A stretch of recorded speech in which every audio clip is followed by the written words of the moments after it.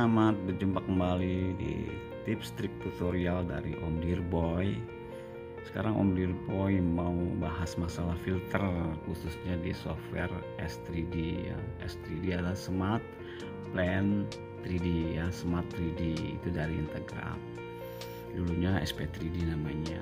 Sekarang sebelumnya Om Dirboy mau kasih penjelasan tentang filter. Apa sih filter itu? Filter itu adalah uh, kita menseleksi objek-objek yang kita sudah filter kita kumpulkan.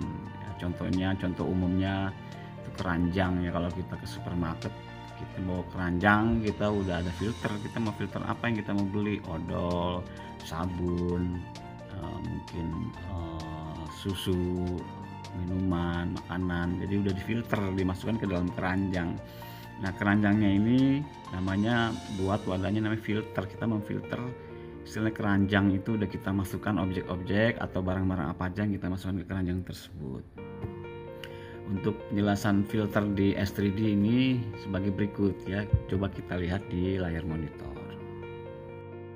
Jadi untuk filter di S3D kita bisa melihatnya di sini di file, define workspace ya jadi saat mulai bekerja nanti langkahnya seperti ini. Di sini kita memilih filter. Di sini ada filter ya. Filter apa aja? Jadi keranjang di filter ini yang kita mau tampilkan ke dalam display sini ya. Contohnya umpamanya saya mau more ya, more. More di sini ini terdapat filter-filter yang udah pernah kita buat. Jadi ini keranjang-keranjang yang isinya udah kita pilih-pilih ya itu namanya filter. Ya jadi ini keranjang-keranjang yang berisi filter, filter berisi objek-objek yang udah kita masukkan di filter namanya kita filter.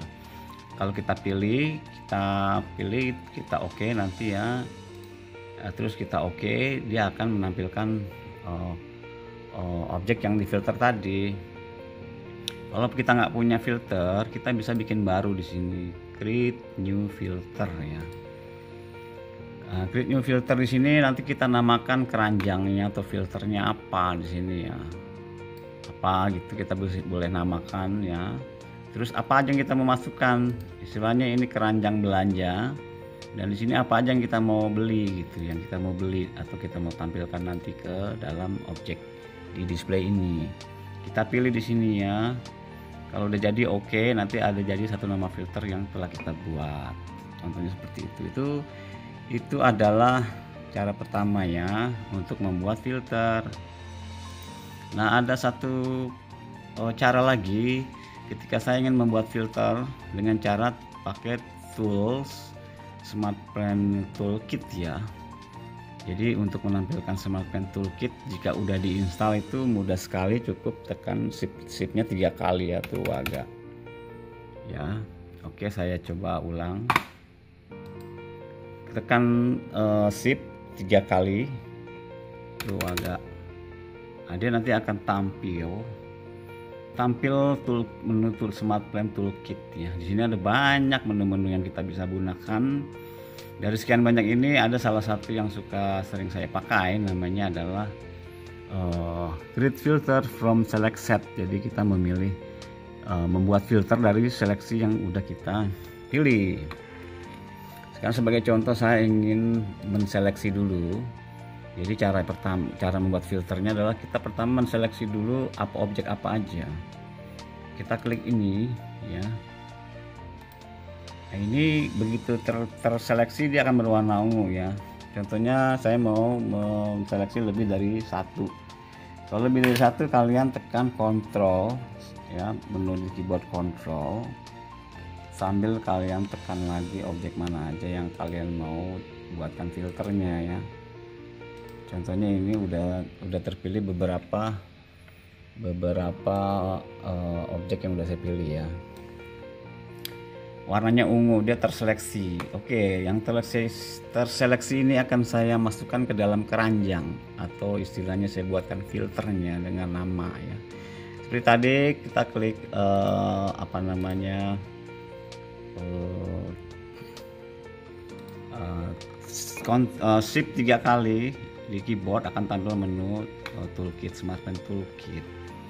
Sekarang kita masuk ke uh, tool namanya create filter from select set. Ya jadi kita udah pilih dulu. Pilih yang kita mau masukkan keranjang ya. Keranjang itu filter namanya. Nama filternya keranjang istilahnya lah ya.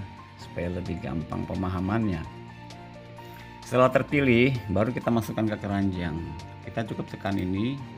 Nanti otomatis akan ditampilkan Windows. Oh namanya apa? Kita mau namakan keranjang kita ini apa?